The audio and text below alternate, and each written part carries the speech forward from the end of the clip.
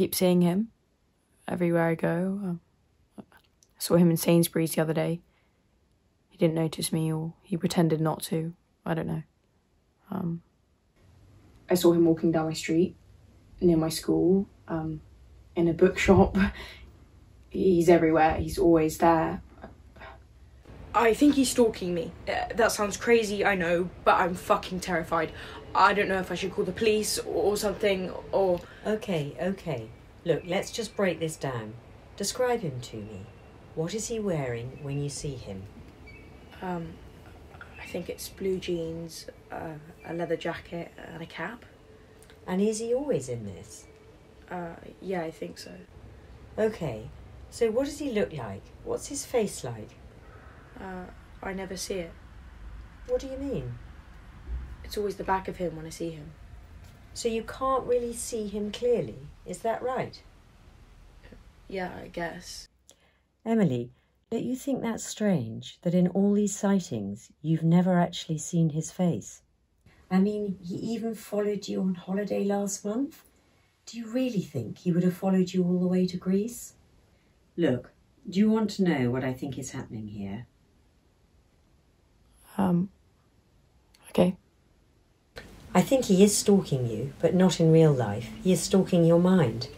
Your nightmares have come back, but this time your mind is projecting them onto your real life, and so perhaps you think you're seeing him everywhere, where in fact, Emily, I think it is your mind playing tricks on you.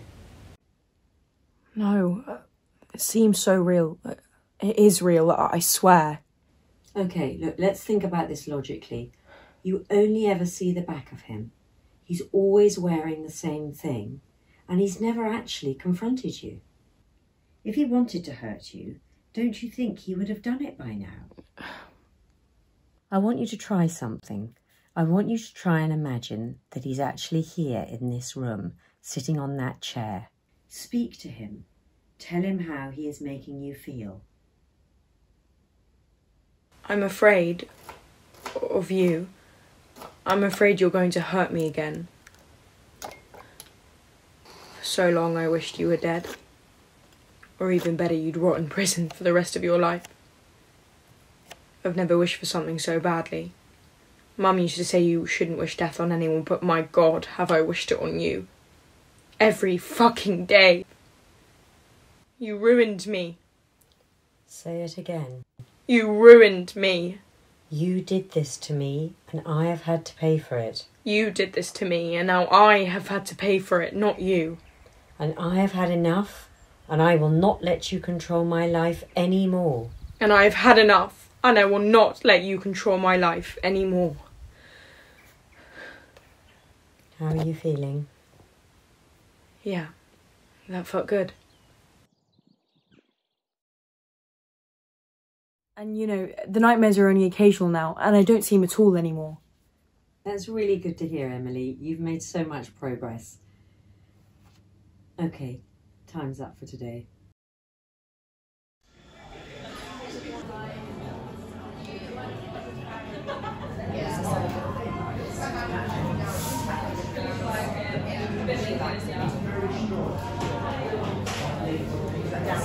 Mind if